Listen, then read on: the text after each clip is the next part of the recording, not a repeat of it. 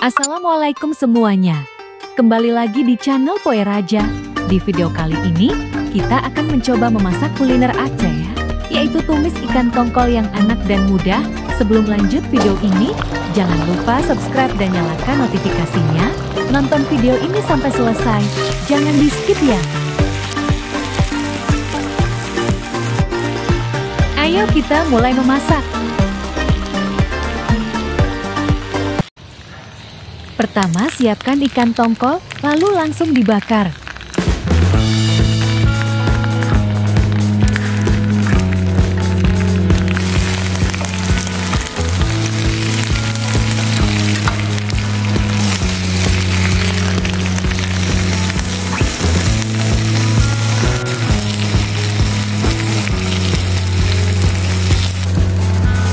Kemudian belah ikan tongkolnya.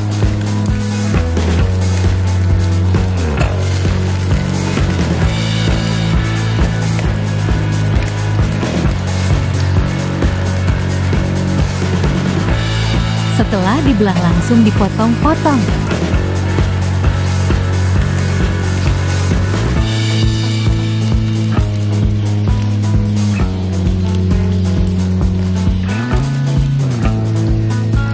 Masukkan ikan ke dalam wadah. Racik bumbu. Pertama, masukkan cabai merah, cabai rawit, bawang putih, bawang merah, kunyit, jahe, asam sunti, dan tambahkan santan 700 ml.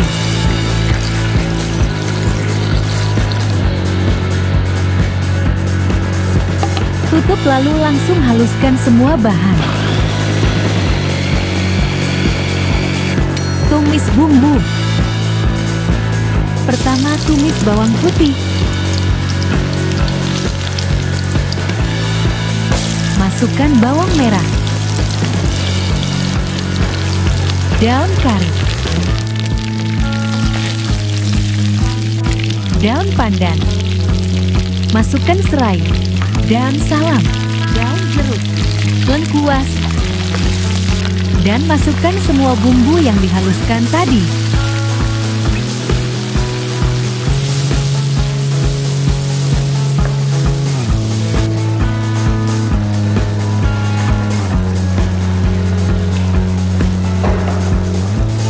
Tambahkan sedikit air. Masukkan kentang, cabai hijau, belimbing wuluh. Masukkan satu sendok makan ketumbar, jintan, adas, dan lada. Kemudian, aduk-aduk semua bahan sampai rata.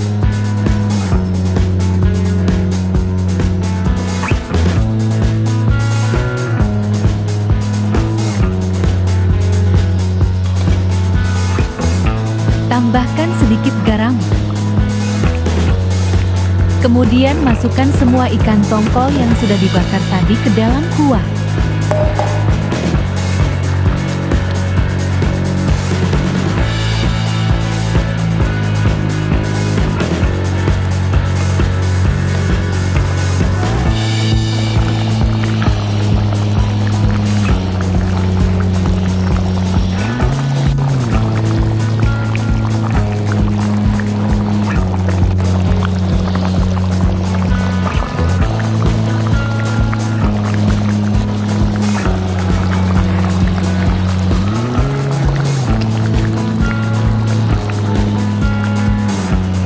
Masak sampai mendidih dan matang hingga baunya keluar.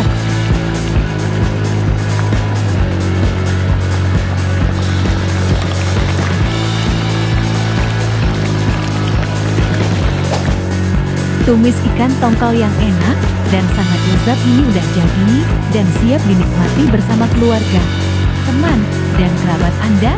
Silakan dicoba resep ini untuk menu makan siang Anda. Sekian berbagi resep kali ini, semoga bermanfaat. Jangan lupa like, komen, share dan subscribe channel ini agar kalian tidak ketinggalan update video terbaru dari kami. Terima kasih.